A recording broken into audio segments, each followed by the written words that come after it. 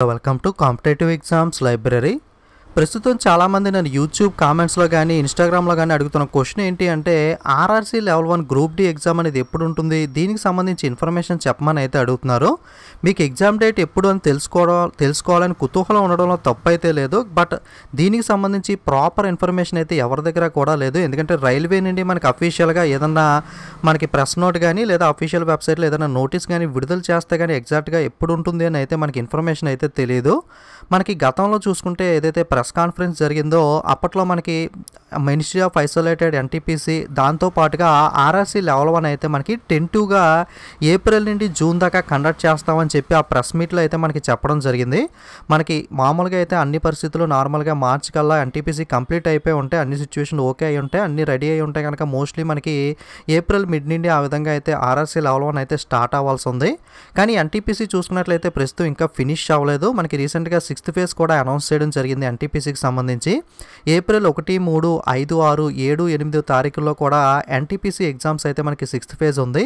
అలాగే ఇంకా seventh phase కూడా ఉందా లేదా అనే ఇన్ఫర్మేషన్ కూడా ఆర్ఆర్బీ నుండి నోటీస్ వస్తే కానీ మనకి తెలియదు ఎందుకంటే కొన్ని ఏరియాస్లో మనకి మనీ సైడ్ ఆంధ్ర తెలంగాణలో మోస్ట్లీ అయిపోయినప్పటికీ కొన్ని చోట్ల మనకి లాక్డౌన్ విధించడం వల్ల అలాగే కొంతమంది కోవిడ్ నైన్టీన్ వల్ల కొన్ని కారణాల వల్ల కొన్ని చోట్ల ఎగ్జామ్స్ అయితే క్యాన్సిల్ అవ్వడం జరిగింది. అలాంటి వాళ్ళకి మళ్ళీ ఏమన్నా మనకి సెవెంత్ ఫేజ్లో వన్ టూ డేస్లో ఏమన్నా ఎగ్జామ్స్ పెడతారా లేదా అనే ఇన్ఫర్మేషన్ అయితే మనకి ఇంకా నోటీస్ వస్తాయి కానీ తెలియదు సో మోస్ట్లీ పోనీ సెవెంత్ ఫేజ్ ఉన్నా సరే మోస్ట్లీ మనకి ఏప్రిల్ ఫిఫ్టీన్ ఆ టైంకి అయితే మనకి మోస్ట్లీ ఎన్టీపీసీ అయితే ఎగ్జామ్ అయితే కండక్ట్ చేయడం అయితే కంప్లీట్ అయితే అవుతుంది.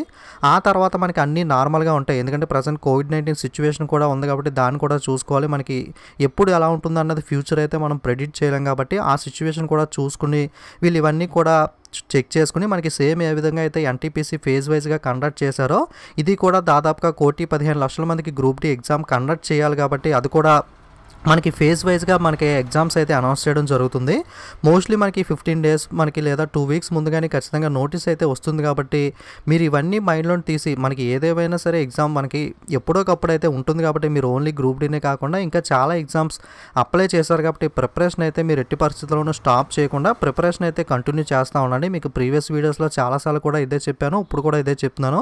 ఈ వీడియో చేయడానికి కారణం ఏంటంటే మెయిన్గా చాలామంది కూడా గ్రూప్ డి గురించి చెప్పండి చెప్పండి అని అయితే అడుగుతున్నారు. కాబట్టి మీరు ఇవన్నీ కూడా మైండ్లోని తీసేసి ఎందుకంటే అప్పట్లో ఎన్టీపీసీ ఎగ్జామ్ కూడా మనకి మినిస్ట్రీ ఆఫ్ ఐసోలేటెడ్ కూడా డిసెంబర్ ఫిఫ్టీన్ నుండి స్టార్ట్ అవుతుందని చెప్పి చాలామంది మనకి రైల్వే నుండి నోటీస్ వచ్చినప్పటికీ కూడా లేదు ఎస్ఎస్సీ ఎగ్జామ్స్ ఉన్నాయి ఎస్బీఐ పీఓ ఎగ్జామ్ ఉంది లేదు జరగదు క్యాన్సిల్ అవుతుంది పోస్ట్పోన్ అవుతుంది అని చెప్పి నెగ్లెక్ట్ చేశారు.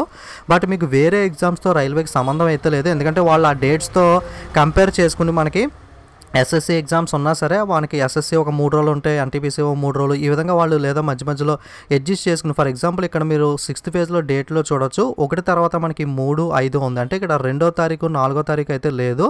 సో ఆ విధంగా ఆ రోజుల్లో వేరే ఎగ్జామ్స్ ఏమైనా ఉంటే ఆ రోజుల్లో కండక్ట్ చేసుకుంటారు. ఈ విధంగా అయితే మనకి ఎగ్జామ్స్ ఎస్ఎస్సి కానీ ఎన్టీపీసీ కానీ ఇద్దరు కూడా మనకి డేట్స్ అనేవి అడ్జస్ట్ చేసుకుని అయితే కండక్ట్ చేస్తారు కాబట్టి మీరు ఎస్ఎస్సి ఉంది ఎగ్జామ్ పోస్ట్పోన్ అవుతుందా? ఇటువంటివన్నీ మైండ్లో తీసేసి మీకు ఇన్ కేస్ ఎగ్జామ్ పోస్ట్పోన్ అయితే మళ్ళీ ఇంకొకసారి రివిజన్ చేసుకుంటారు. మీకే అది అడ్వాంటేజ్ అవుతుంది కాబట్టి ఈ డేట్స్ గురించి ఎప్పుడు ఉంటుంది ఇవన్నీ కూడా మైండ్లో తీసేసి మీరైతే ఎట్టి పరిస్థితులను కూడా ఏం జరిగినా సరే మనకి ప్రిపరేషన్ అయితే స్టాప్ చేయకుండా మీ ప్రిపరేషన్ అనేది డైలీ ఇంప్రూవ్ చేసుకుంటూ ఉండండి. ఒకవేళ మీరు మొత్తం ప్రిపేర్ అయిపోయినా సరే మళ్ళీ ఇంకొకసారి రివిజన్ చేయండి ఇంకా స్ట్రాంగ్ అవుతారు.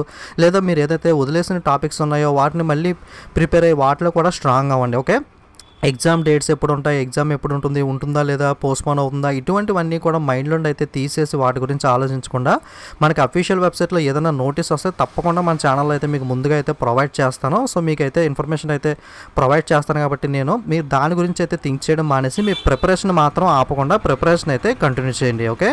సో ఇది మనకి ఈరోజు గ్రూప్ డికి సంబంధించిన ఇన్ఫర్మేషన్ వీడియో అనేది. So thanks for watching.